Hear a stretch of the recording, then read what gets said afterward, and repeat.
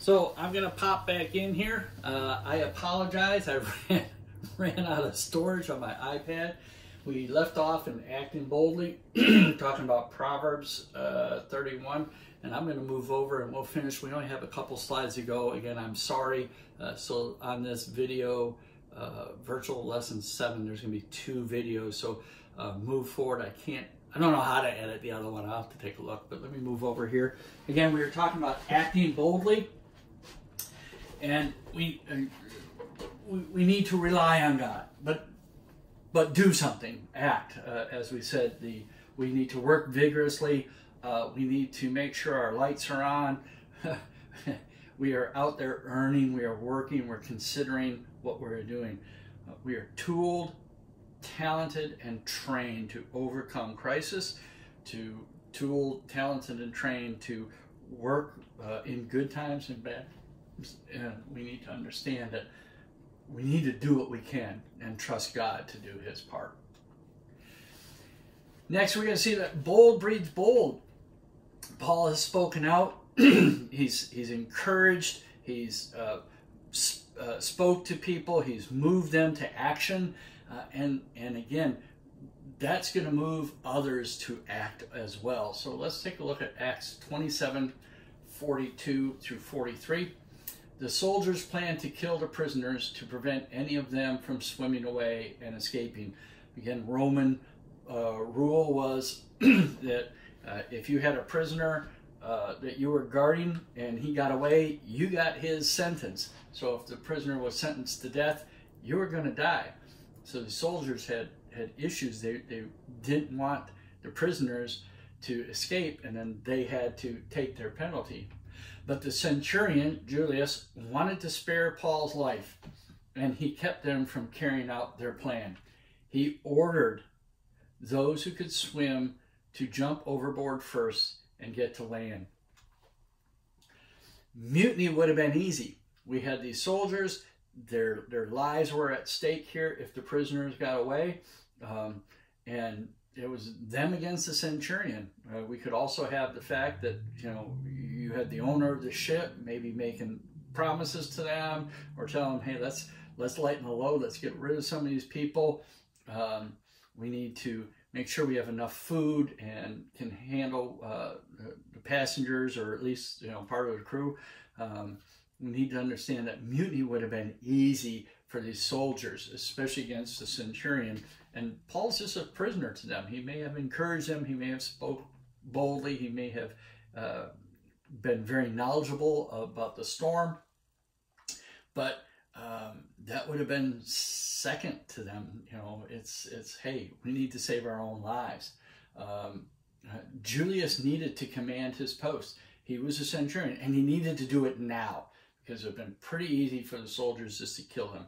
They've, they've already, uh, you know, dashed the escape plans of the of the crew. Now they're they're trying to save their own lives, uh, and Julius had to step up. He needed to take what Paul had done, this boldness, and use it for himself and to stand against these men. And what he did, what he did do was his savings of Paul also save the other prisoners. This is important. This boldness to save one prisoner uh, because of that little bit of relationship, because he has he has faith uh, in Paul, not God, but he has faith in Paul. Paul's knowledgeable. Paul, everything Paul said so far has been correct. He's been nailing it. So, you know, I'm, I'm sure he's saying, hey, you know, we need this guy along with us. But because he saved Paul, he saved the other prisoners.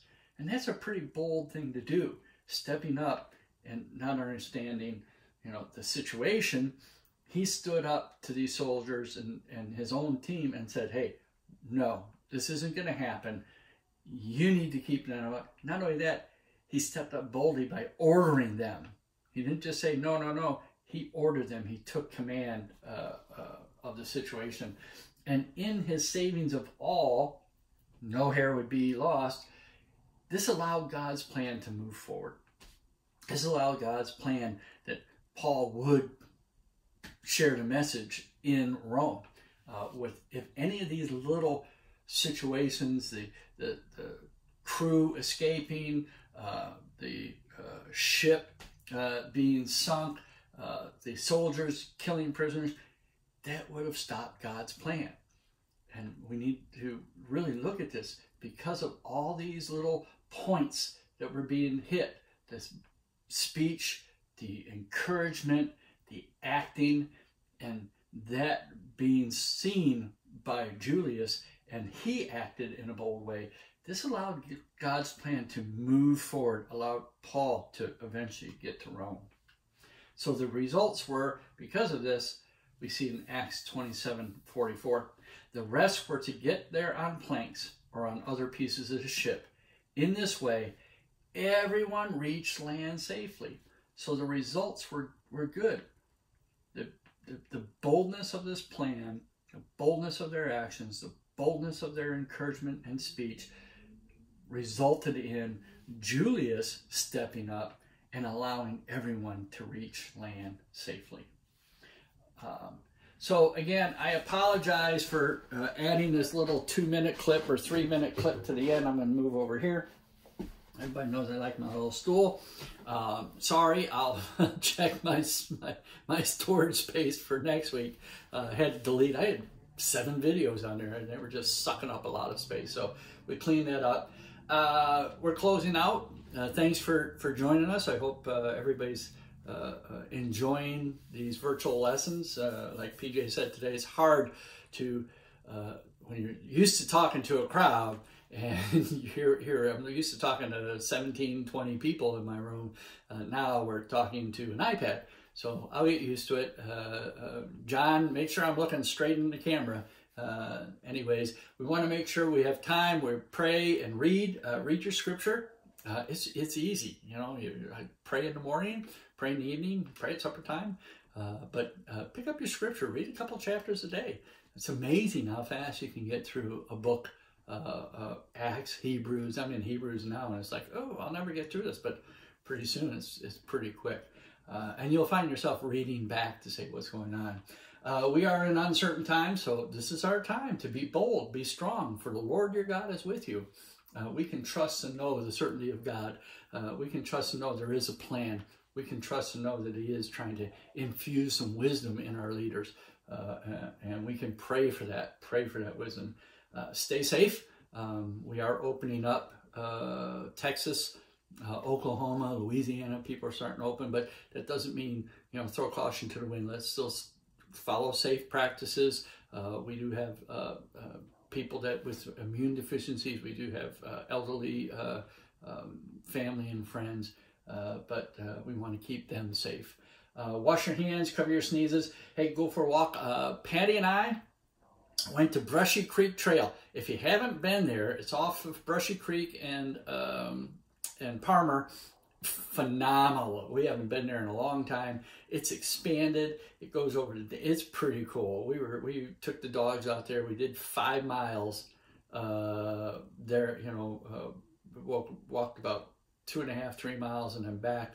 Uh, it was very cool. And if you go just towards the evening, the sun setting, there's lots of shade, um, lots of people out there, but um, uh, enjoy it. If you haven't been to Brushy Creek Trail, I highly recommend it. But get out of the house, you know, uh, um, you know, don't sit in your room with the shades down. Open it up. It's a beautiful day. Uh, God has has given us sunshine and 90 degree weather. Thank you.